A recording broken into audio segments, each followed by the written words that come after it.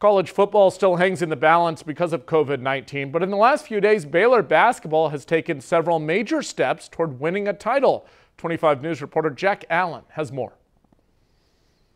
From the moment COVID-19 ended his sophomore season early, Baylor guard Jared Butler has been left with a very difficult decision. Come back for another year at Baylor and risk potentially injuring himself or plunging into an uncertain NBA draft future during especially uncertain times. He said it's one of the most difficult decisions he's ever had to make.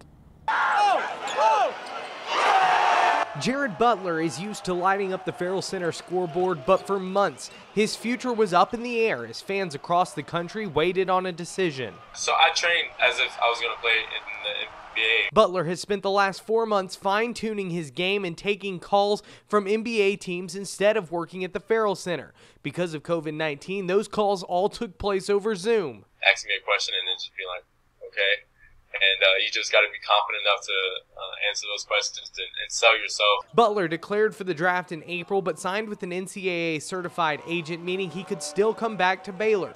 But while he could have been a first round pick this year, he's betting on himself. And I think for me, I have a chance to be a first round lottery pick type player. And um, with, with, with the guys we got coming back and how successful our team could be, I think um, I, I, don't want to miss out on that opportunity. Monday morning, just before the deadline, Butler announced he'll be back to campus for another season. I want to win a national title for Baylor. I want to win a Big 12 championship for Baylor.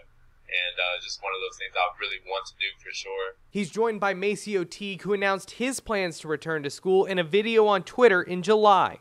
I'll be back at Baylor the next season to finish off what we started. The pair's decision means Baylor will only lose Freddie Gillespie and Devonte Bandoo from last year's lineup. Baylor is expected to enter the 2020 season ranked number one in the nation, a glimmer of hope for whenever the Bears return to the court again. In Waco, Jack Allen, 25 News.